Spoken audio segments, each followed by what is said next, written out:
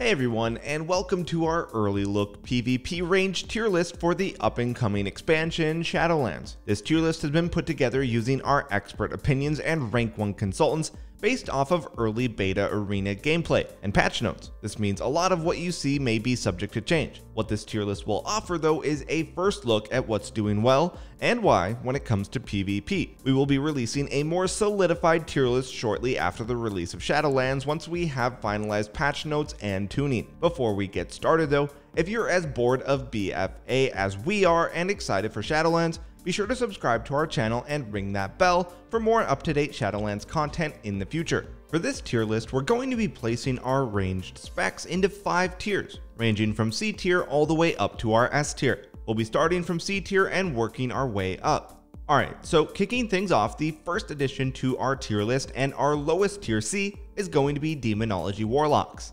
Throughout BFA, Demonology didn't really bring much when it came to PvP, having quite low sustained damage and relying a lot on building up damage with imps and pets, and then casting a Tyrant to deal your burst damage. So not only having to build up your damage, but then casting a telegraphed pet cast that can then be interrupted, or you can either just line of sight, it just doesn't work when it comes to PvP. Moving forward for Shadowlands, Demonology is remaining relatively the same in terms of core gameplay, still revolving all around Tyrant and setting up your burst. Other than some good changes like the Azerite trait Baleful Invocation being tied into Tyrant, and Demonic Circle being baseline along with the addition of curses, Demonology will definitely be improved upon, but again, the core aspects of the spec just don't work when it comes to PvP. So just like in BFA, Demonology will once again find itself in our lowest tier. The second addition to our lowest tier is going to be BM Hunter. Hunter is actually getting quite a lot of cool abilities back, including Scare Beast and Killshot, although they are still heavily lacking when it comes to PvP. BM has taken more of an AoE and cleave role when it comes to their damage, and in PvP, this, as we all know, just isn't ideal. Again, similar to Demonology, the core of BM remains the same, utilizing Barbed Shot and Frenzy, as we saw from BFA, though Beast Mastery is heavily dependent on secondary stats in order to fully maximize its potential. At the start of an expansion, secondary stats are very scarce. Not to mention, probably the biggest issue for BM is the nerf to Revive Pet, making the cast a lot longer, and we all know how important a pet is to BM hunters, so targeting this and locking them down will make them obsolete in PvP. And Covenants are also looking to not favor BM when it comes to PvP, with all of their class abilities being heavily focused around Cleave. Hunters will still have some very strong specs going into Shadowlands, but BM is unfortunately not one of them. Alright, that's going to be it for our C tier though, so now we're jumping up to the B tier. First up is Affliction Warlock. Affliction is looking good for so many reasons. First is just the high damage it's capable of. All their dots do ridiculous damage. Affliction no longer relies on stacking Unstable Affliction on a single target in order to burst. Unstable Affliction now costs no shards, but is limited to only one target and while this may seem odd in Arena, this is insane due to the addition of a new PvP talent called Rampant Afflictions. Rampant Afflictions allows you to apply UA to 3 targets, meaning that you can maintain UA on 3 targets if you can cast, and now you can spend shards on Malefic Rupture. This causes you to erupt all of your dots on all targets, dealing some very high damage and adding to an Affliction Warlock's high spread pressure. In my eyes, this is exactly how the class should play. There's also been a buff to Deathbolt which allows it to deal huge burst damage. Another great change, while if you've not played Affliction may seem small, is that now Corruption actually deals instant damage. This gives Warlocks a way to stomp totems, Siphons, or just any instant damage at all if moving. Inevitable Demise is also set to make a return. If you remember, in BFA we had this as an Azerite trait that would stack up and one-shot if you allowed the Warlock to drain life. Well, this is back and in full effect, allowing the Warlock to set up some insane burst. The addition of curses and the talent Amplify Curse is also pretty ridiculous right now. Weakness, Tongues, and Exhaustion are all now baseline for all Warlock specs, as well as a talent called Amplify Curse. What this does is empower your next curse every 45 seconds, so you can make the target unable to crit, and Curse of Weakness currently lasts 2 minutes. While we can't really see this going live in its current form, the talent just seems ridiculous for PvP. But hey, that's not why we put Affliction in our B tier. Why they're in our B tier is the potential of their legendary items. Affliction is the only Warlock spec with Gateway Mastery. When combined with Pillars of the Dark Portal, this can offer some insane mobility, especially now that Demonic Circle is baseline, which is going to aid greatly in helping Affliction deal with cleaves. Offensively though, you can pick up Claw of the Endereth. Paired up with the talent Inevitable Demise, this basically brings us back to the Drain Life one-shot spec. While another great option is the Sacrolash's Dark Strike, which buffs your corruption damage and gives your corruption a passive 60% slow, as corruption has no cast time or cooldown and lasts up to 24 seconds. This makes for an insane legendary. Conduits also play into the Affliction multi-dot playstyle, giving you the ability to get a reduced CD on Summon Darkglare. Overall, Affliction is just set to be very strong, but suffers a lot of the same problems as current day Affliction, which holds it back from reaching higher on our tier list. It's because of how squishy they are and how reliant they are on chain casting to create any substantial pressure, which isn't aided by the fact that they have only one school of magic.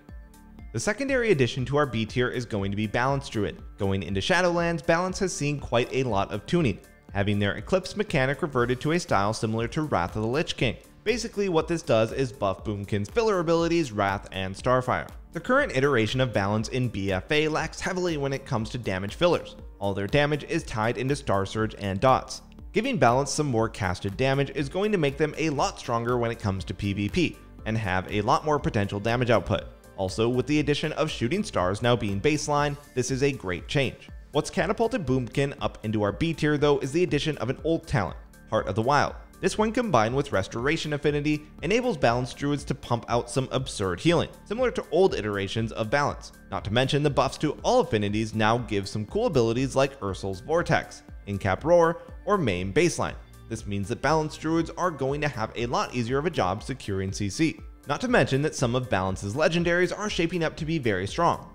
There are legendaries mimicking the old Arcanic Pulsar Azerite trait, as well as some very cool general legendaries such as Oath of the Elder Druid or Circle of Life and Death. What's currently holding balance back though is a combination of weak Covenant abilities and just general damage output, although their healing, CC, and just general utility is very strong. Next, we have a spec that has dropped substantially since BFA, and that's Elemental Shaman due to the damage it deals so we cannot justify putting it higher on the list. But as with everything, tuning could change this. It seems Blizzard doesn't really know what to do with this spec, as they are toying between the addition of Fulmination or reverting back to Maelstrom. For now, Elementals are still using Maelstrom, so they're still using the same concept of building Maelstrom with your normal abilities, then spending it with Earthshock. Currently though, in BFA, a lot of Elementals damage comes from the Azerite trait Lava Shock, which enables them to deal the hard-hitting earth shocks that we all know, and essences like Reaping Flames complementing their burst damage kit. Well, as we know, Azerite traits and essences are no more, so Elemental is losing a lot of its inherent power. Despite gaining some cool abilities like Echoing Shock and Static Discharge, Elemental has dropped back into the more utility-based caster role, with strong off-healing, powerful totems, and some decent burst damage. In regards to Covenant abilities, Elemental gains some of the weakest class abilities for PvP. Venthyr is a popular Covenant choice as of right now, which gives Elemental an ability not even worth using in Chain Harvest. The same goes for their legendary options with all of them being incredibly lackluster when it comes to PvP, with their only real option being Windspeaker's Lava Resurgence, which just gives them some added damage on Lava Burst, an already weak ability. With that said though, with the correct tuning, Elemental has the potential to push a lot higher in this tier list due to just how strong their kit is when it comes to PvP. Still sitting in our B tier, we have another fall from grace. The former S tier casters from BFA, Fire Mages, have found themselves being quite a lot weaker. Although this was honestly to be expected, Fire borrows a lot of its power from outside sources, like the Lucid Dreams Essence and the Hyper Thread wrist wraps. While also receiving a 15 second cooldown to Greater Pyroblast, this will hit Fire hard, as now outside of their combustion they have next to zero pressure. As for their strengths though, Fire is basically the same as we know from BFA. High burst damage that's all instant casts and great CC having the addition of Dragon's Breath. This means that Fire will still be very strong, but just more limited on comp choices, as now Fire can play in Caster Cleaves, RMP, pretty much any comp they can do well in. But with Greater Pyroblast being nerfed and their overall damage reduction, Fire will take more of a setup role in compositions like Rogue Mage. Not to mention something that's also holding Fire back from reaching any higher on this list is their lack of legendary choice having very limited options to choose from, with their best pick seemingly being Firestorm, but offering a low chance means it's very RNG and won't offer too much value. Okay, so based off of BFA, we have some surprising classes that went into our B tier. Now let's jump up one more tier and take a look at our penultimate one, our A tier. These classes are all extremely good right now, but just lack that something extra to put them into the S tier in which our first edition is another spec that has had a fall from grace, and I think we're all very thankful for that. I'm of course talking about Destro Warlocks. Destruction Warlock, as we know it, was hit very hard from three different factors. First, the loss of essences obviously means no more vision of perfection. The talent Grimoire of Supremacy has also been removed, and to top it all off, Focused Chaos has also been nerfed substantially. Not to mention the lack of secondary stats during the early expansion, coupled with the loss of Flashpoint, means even securing Chaos Bolts has become an issue. Also losing some very impactful PvP talents like Entrenched in Flame Root means destruction will overall be a lot less annoying to face, and you won't have to worry about getting hit by a single Chaos Bolt. Alright, so how come despite all these changes, Destro is still making it into our B tier? Well, Destro is looking to be taking a new path, one that we've seen before, and that's using its fire abilities to deal some strong instant damage and even stronger casted damage, with Conflagration, Shadowburn, Incinerate, and Immolate all being very powerful, coupled with things like the Necrolord class ability, Decimating Bolt. Once gaining more haste is an option, abilities like Soulfire will also potentially see some play, as sort of a Chaos Bolt but with a cast time. The spec is looking to be incredibly strong when paired with this legendary, which gives you even more instant damage buffing your Conflag. Combine this with all the new additions such as new curses, demonic circle being baseline, and even pushback resistance on fear is setting destruction up to be a very fun to place back and powerful one, just nothing like the Destro we know today. Up next, we have the annoying to face Frost Mages. Frost remains, for the most part, the same as it was in BFA, offering strong slows, good single target damage, and some relatively strong instant burst from Frozen Orb and Ice Lance. What's pushed Frost into our A tier is the buff to Winter's Chill. In BFA, Brain Freeze makes Flurry apply Winter's Chill, which allowed you to shatter. Well, in Shadowlands, this has been redesigned and now lasts 6 seconds and affects the next 2 spells hit. This is going to heavily buff mages instant burst damage during setups, giving them the ability to double Ice Lance after a Flurry. The legendary items Frostmage has the potential to use are also looking to be good. Freezing Winds will make your orb setups a lot more potent, giving you constant Fingers of Frost while it's active, and then allowing you to get it back faster if you can cast. Cold Front also offers a very nice option if you're able to consistently cast, being able to constantly get out orbs. Overall though, if you enjoyed BFA Frost, then Frost is a solid spec that performs well in Shadowlands Arena, Although it may not have the potential CC of Fire or the Burst of Arcane, the slows and consistent damage are enough to warrant a spot in our penultimate tier. A spec that we've not seen for some time is poising to make its return for Shadowlands. Marksmanship Hunter has been struggling to find a clear direction, suffering multiple design changes since its rework in Legion.